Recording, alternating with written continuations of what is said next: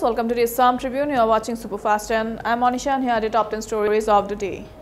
More than 13 lakh candidates are set to appear for the state level recruitment commission examination which is scheduled to take place on October 27 Sunday across the state.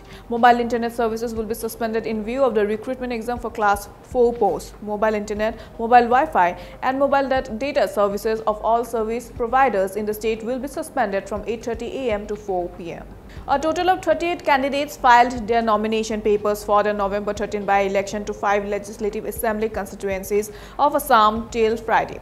By-elections will be held in five, five LACs of the state Dholai, Sidli, Bongaigaon, Behali and Samaguri scrutiny of nomination papers will be done on October 28, while the last date for withdrawal of candidature is October 30 to assist a large number of candidates appearing for the Assam Direct Recruitment Examination scheduled on October 27, 2024, the Northeast Frontier Railway has announced the operation of five pairs of examination special trains across Assam.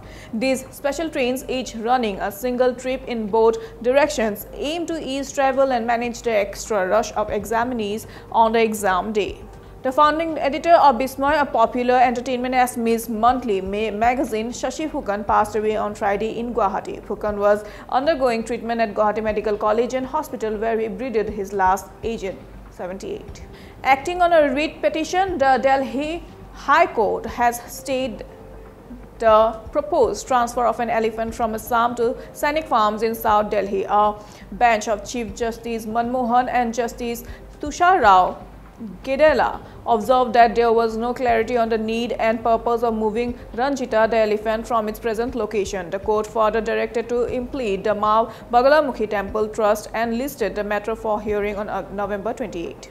Despite the plan of the North-East Frontier Railway to complete the 51.38 km Bairabi Sairang railway line within nine months, several disputes in Kolasib district have remained unresolved including compensation issues. A statement issued on Friday revealed that Kolasib Deputy Commissioner recently convened a meeting with district officials, NFR representatives and village council leaders from affected areas along the railway route. The meeting sought to address compensation and re related concerns, deciding on a joint verification by the district collector, NFR officials, landowners and VC leaders as soon as possible.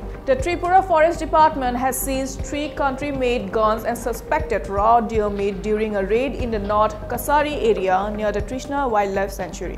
The seized items were sent to different locations for testing. The guns have been sent to the State Forensic Lab in Agartala for tests and a meat sample is sent to Dehradun for DNA testing.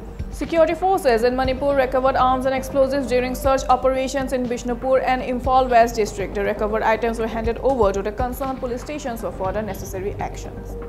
Iran cancelled all flights until further notice due to escalating tensions and security concerns in West Asia.